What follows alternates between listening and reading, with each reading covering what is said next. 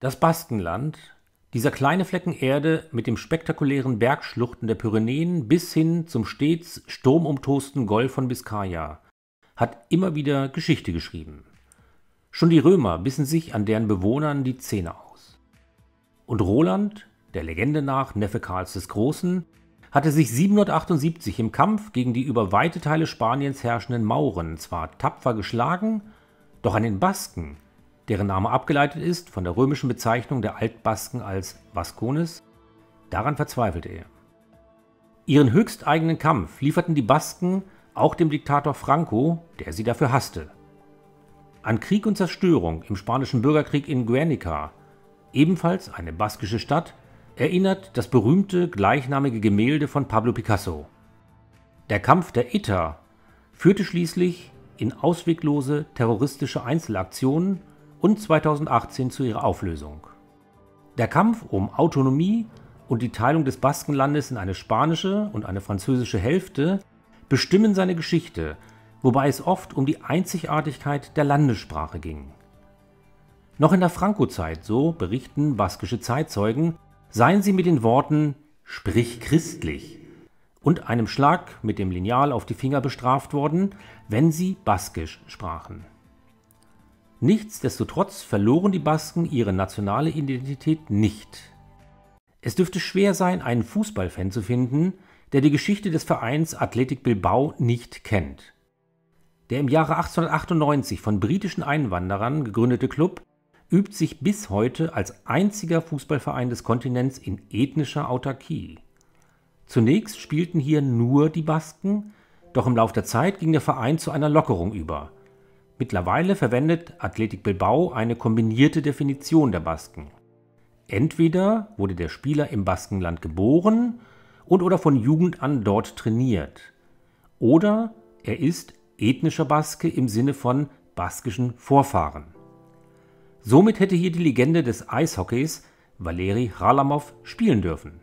Seine baskische Mutter wurde nämlich im Spanischen Bürgerkrieg in die Sowjetunion gebracht der russische Film Legende Nummer 17 erzählt von seinem Leben. Naja, und wer weiß, vielleicht hängt Khalamovs emotionsgeladenes Spiel mit seiner Herkunft zusammen. Ja, und was fällt uns noch bei den Basken ein? Der Radsport, das Filmfestival von San Sebastian und die Baska als dekorative Halskrause. Dabei handelt es sich nicht um einen sprachlichen Zufall, sondern um ein traditionelles Detail der baskischen Tracht, das der Baske Balenciaga auf die Laufstege der Welt gebracht hat. Kaum ein anderer Hut versinnbildlicht das Baskenland deutlicher als die Baskenmütze. Von der alten französischen Provinz Béarn aus verbreitete sich im 15. Jahrhundert das flache Wollkäppi. Bevor es zum Hype um die Kappe in intellektuellen und Künstlerkreisen im 19. und 20. Jahrhundert kam, fand man sie auf Selbstporträts der holländischen Meister Vermeer und Rembrandt. Später wandelte sie sich zum Symbol der Revolution, wobei Che Guevara sie eher als Bekennung zu seinen baskischen Wurzeln trug. Denn der berühmte Argentinier entstammte einer baskisch-irischen Ehe.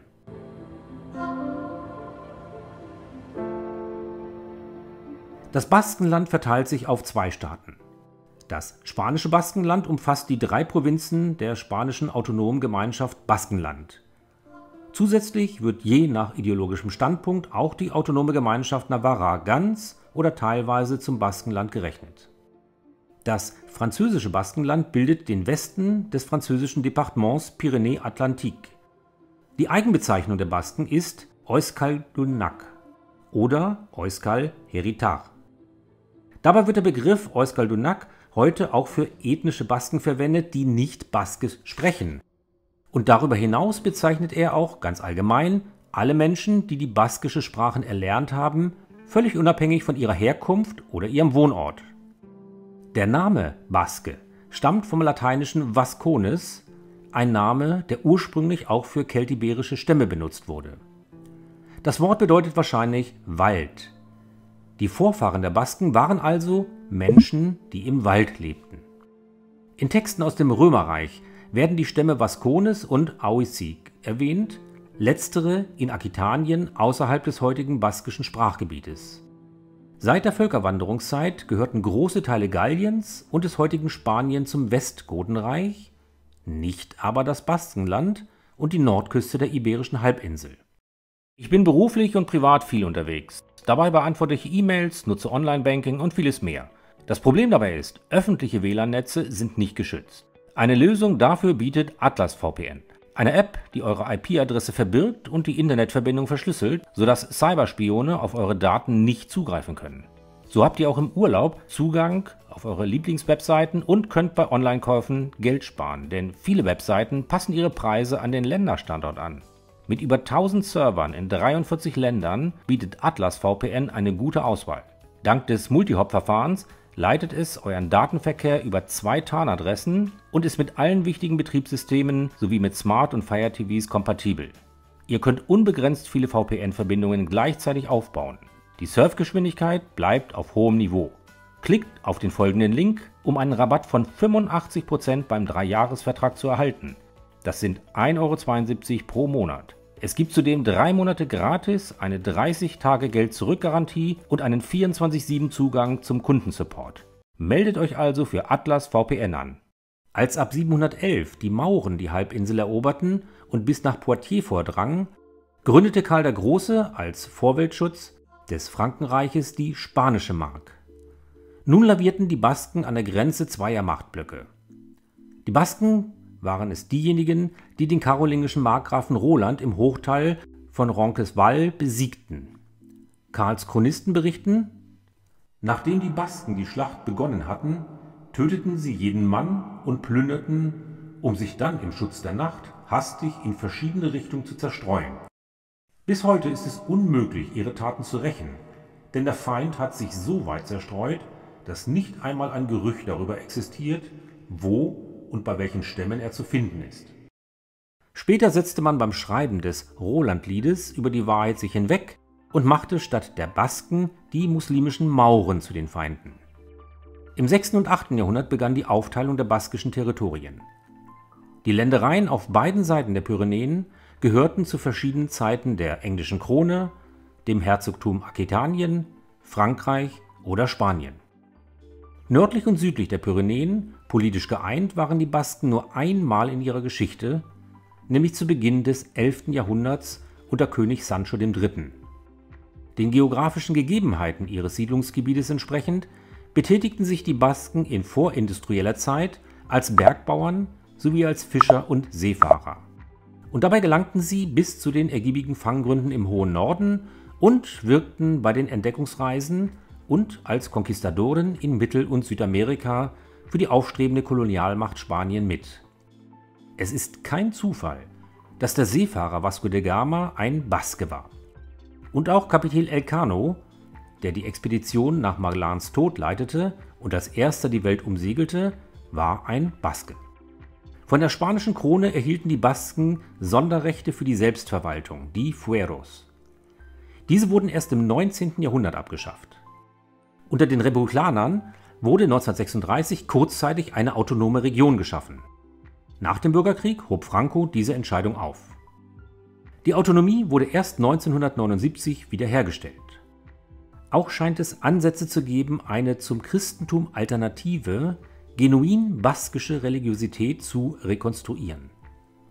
Im Mittelpunkt steht der Mythos einer von weisen Frauen regierten Gesellschaft, die im Einklang mit der Natur lebte und eine Muttergottheit anbetete, deren Kultur und Wissen aber von einer patriarchalischen und christlichen Gesellschaft zerstört wurde. Insbesondere die Feststellung, dass in der vorchristlichen baskischen Religion die oberste göttliche Gestalt eine Göttin, Mari, war, öffnet Spekulation über eine ursprünglich matriarchalische Gesellschaftsform des Baskenlandes in grauer Vorzeit.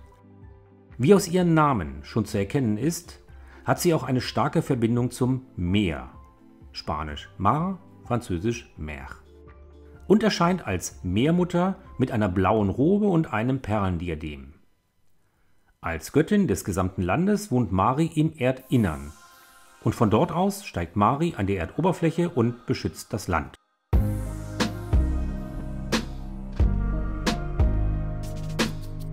Für Historiker Sprachwissenschaftler und Paläogenetiker hat unter allen Volksstämmen Europas das kleine Volk der Basken einen besonders schillernden Ruf.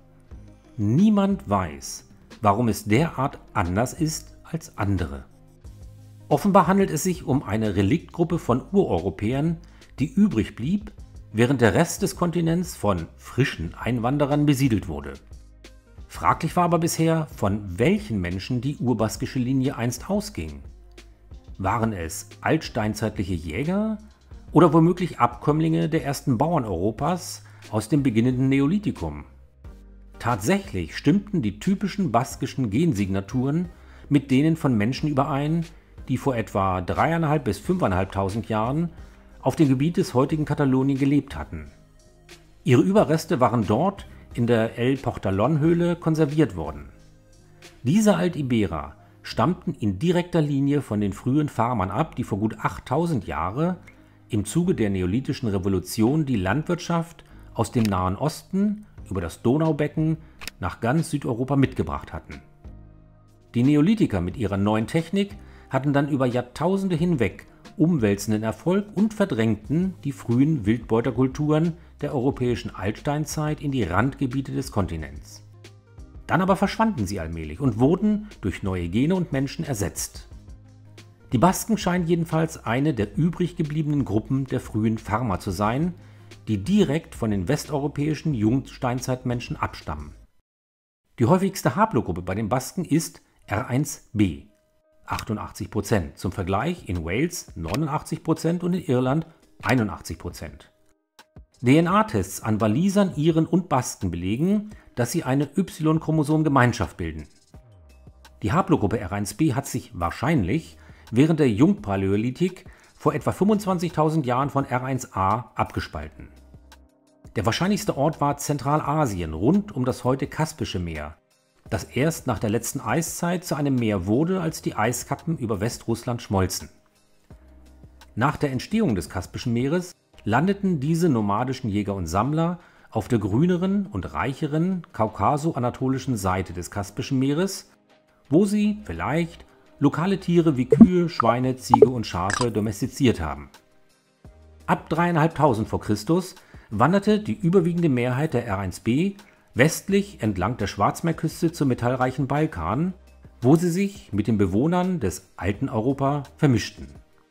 Die archäologischen Aufzeichnungen weisen darauf hin, dass diese anhaltende Invasionsserie äußerst gewalttätig war und zur vollständigen Zerstörung der bis dahin blühenden Zivilisationen auf dem Balkan und in den Karpaten führte.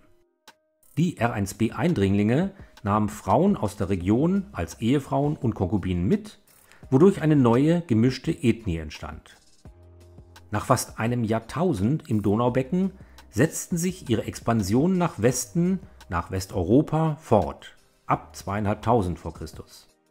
Das war nur ein kurzer Exkurs zur R1b. Nun aber zurück zum eigentlichen Thema. Es sei angemerkt, dass den Walisern und Iren jene baskische Blutgruppe fehlt, die ja immer als Teil ihrer Besonderheit angeführt wird. 25% der Basken haben einen negativen Rhesusfaktor, der bei den anderen Europäern nur zu 16% vorkommt.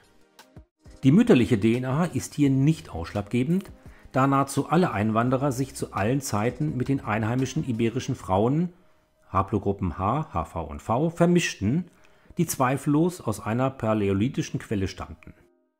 Wenn man damit die baskische paläolithische Herkunft belegen will, würde das für ganz Europa gelten, denn diese mütterliche Haplogruppe H hat sich in der Vergangenheit über ganz Europa verbreitet. Die Basken sind nicht das älteste Volk Europas, sondern das älteste noch lebende Volk Europas.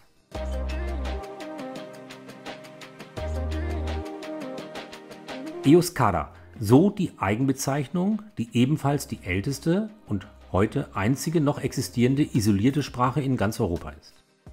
Sie ist weder indoeuropäischen Ursprungs wie etwa Latein, Deutsch oder Spanisch, noch uralisch wie etwa Finnisch oder Ungarisch, noch semitisch wie etwa Arabisch oder Hebräisch. Baskisch unterscheidet sich auch vollkommen von den anderen europäischen Sprachen mit seinem komplizierten Verbalsystem samt einer polypersonalen Flexion, zehn einzigartigen Diphthongen im Alphabet und einem Vigesimalsystem, einem 20er-System bei den Zahlen, das offenbar auch ins Französische eingesickert ist, mit zum Beispiel quatre-vingt-dix für 90. Der umfangreiche, originäre Wortschatz des Baskischen hat die Zeiten überdauert. Auch wenn der erste gedruckte baskische Text erst 1545 erschienen ist, lassen baskische Eigen- und Götternamen in Inschriften und auf Grabsteinen aus römischer Zeit vermuten, dass das Altbaskische noch viel älter ist und schon bestand, als vor etwa 3000 Jahren indoeuropäische Sprachen in Europa zu dominieren begannen. Aber warum ist Baskisch nicht, wie die iberischen oder etruskischen Sprachen unter römischem Einfluss, verschwunden? Der Grund dafür liegt in der Isolation der Basken, deren Vorfahren weit entfernt von den Kriegen in Europa lebten. Und der Prozess der Romanisierung fand hier nicht in vollem Umfang statt und kam, nach dem Untergang des Römischen Reiches, ganz zum Erliegen. Das baskische Gebiet war von Migrationsprozessen nicht betroffen. Sie fanden in der Bronzezeit statt, als Viehzüchter aus dem östlichen Randgebiet des Kontinents in großer Zahl in den westlichen Teil Europas zogen.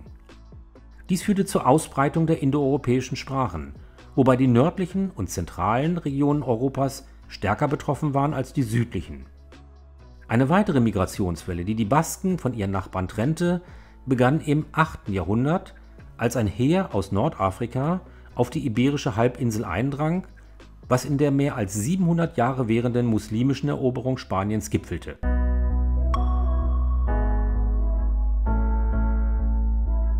Repräsentieren also die heutigen Basken den letzten Rest der ersten Europäer? Dafür spricht, dass sich das Genom der Basken deutlich von dem ihrer Nachbarn unterscheidet. Jedoch sind im Erbgut der übrigen Europäer durchaus baskische Sequenzen nachweisbar. Möglicherweise deutet das darauf hin, dass es sich bei ihnen um eine sehr alte Bevölkerung handelt, während die angrenzenden Bevölkerungsgruppen später zugewandert sind. Ob es einmal eine einheitliche Sprache gab, die sich über ganz Europa bis zum Kaukasus erstreckte, ist eine Hypothese, die vom Sprachwissenschaftler Theo Fennemann verfochten wird. Er behauptet, dass es vor Einbruch der Indoeuropäer eine vaskonische Sprachfamilie in Europa gab, deren Rest das Baskische ist.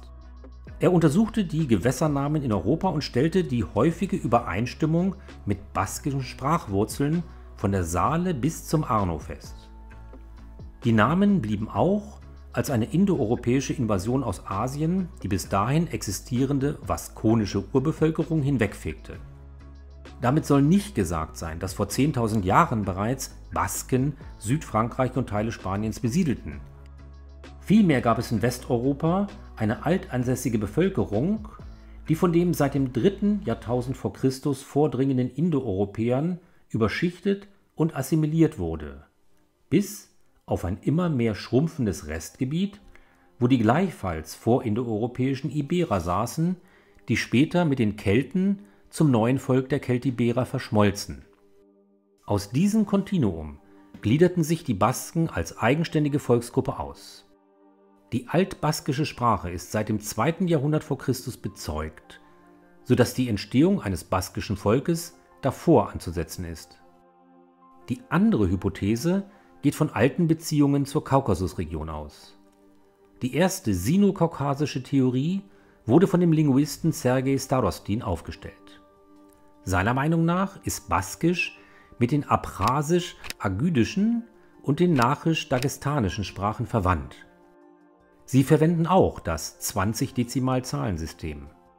Im Abrasischen ist zum Beispiel die Zahl 40 2 mal 20 und bei 50 sagt man 2 mal 20 und 10. Die andere kaukasische Theorie ist die kartwelische. Die alten Namen von Spanien und Georgien sind Iberia und Iberia. Das Georgische verwendet ebenfalls das 20-stellige Zahlensystem. Das baskische Wort Euskara kommt von Enau, sprechen. Im Georgischen heißt die Sprache Ena. Grundsätzlich ist der Kaukasus mit seinen vielen Sprachen durchaus ein guter Kandidat für derartige Thesen, die sich nicht nur auf Baskisch beschränken. Dass man Herkunftsgebiete für diese isolierte Sprache sucht, ist natürlich. Allerdings ist keine Einwanderung belegbar, die irgendwie auf den Kaukasus hindeutet.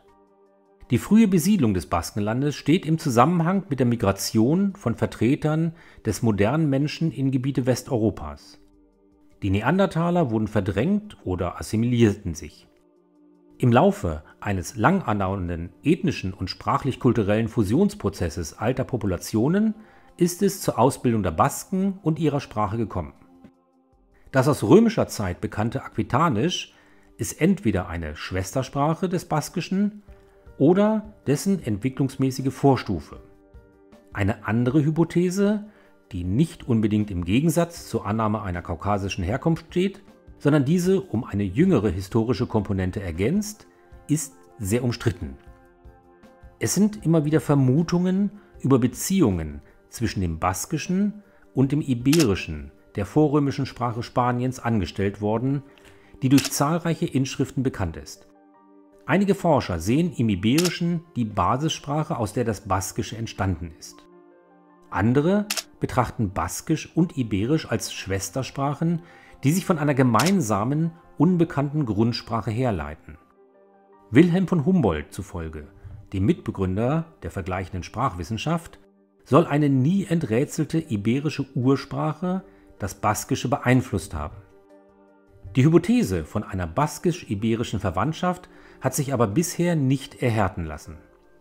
Auf jeden Fall nimmt die Forschung vielfach ein hohes Alter der baskischen Sprache an, was allein schon durch ihre isolierte Stellung begründet ist. Allerdings ist es Unfug, im paläolithischen Menschen Südeuropas bereits Basken zu vermuten. Es handelt sich, falls eine diesbezügliche Hypothese zutrifft, lediglich um weit entfernte Vorfahren, aus denen sich erst viel später Völker und Sprachen ausgliederten. Es gibt noch eine weitere These. So wäre es durchaus möglich, dass das Baskische afrikanische Wurzeln hat, wie einige Forscher in Ansehung gewisser Verwandtschaften zu Berber- und Songhai-Sprachen behaupten. Demnach stammt Baskisch von einer den Dogon ähnlichen Sprache ab. Die Dogon sind eine afrikanische Volksgruppe, die in Westafrika im Osten von Mali lebt und ursprünglich aus dem Nordwesten von Burkina Faso stammt. Aufgrund linguistischer Studien hat man bei über 2200 Wörtern aus beiden Sprachen eine Ähnlichkeit von 70 Prozent festgestellt. Die Erklärung dafür? Phönizier haben einige Afrikaner nach Europa gebracht. Da die baskische Sprache seit 2000 Jahren den Einflüssen der sie umgebenden indoeuropäischen Sprachen unterlag, muss sie sich zwangsläufig von ihrem Ursprung entfernt haben, insbesondere da sie offensichtlich jeglichen Kontakt zu ihrer Ursprungsregion verloren hat. Die meisten Thesen über die Herkunft der Basken sind auf jeden Fall reich an nicht beweisbarer Fantasie, so der Forscher Michael Meyer-Brügger. Aber ein bisschen Fantasie muss sein, befand Bertolt Brecht, als er 1929 seinen Bilbao-Song dichtete und eine pralle Welt der vergnügungsfreudigen Basken heraufbeschwor. Bills Ballhaus in Bilbao war das schönste auf dem ganzen Kontinent. Dort gab's für einen Dollar Krach und Wonne und was die Welt ihr eigen nennt. Jegliche Archäologie der Sprachen und ihrer Entstehung stößt allerdings sowieso an ihre Grenzen, wenn sie sich mit der Urzeit des Menschen beschäftigt. Aber ist es nicht eine schöne Vorstellung, dass die ersten Europäer Basken waren, die in ihrem kleinen Restgebiet so wie das Asterixdorf den Römern bis heute der indoeuropäischen Invasion trotzten? Oder um es im Baskisch zu sagen, Baskisch ist so alt wie die Berge.